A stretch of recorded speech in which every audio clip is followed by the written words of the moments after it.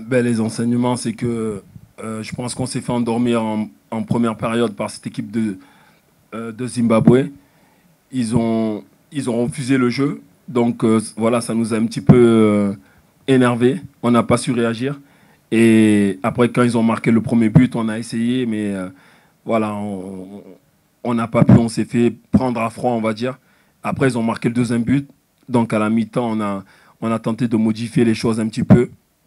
Et euh, après, on a pu marquer un but, mais c'était pas assez. Euh, voilà, le mal était fait déjà. Donc euh, voilà, bravo à eux. Ils nous ont, ils nous ont bien pris et nous, on n'a pas su réagir. Voilà tout.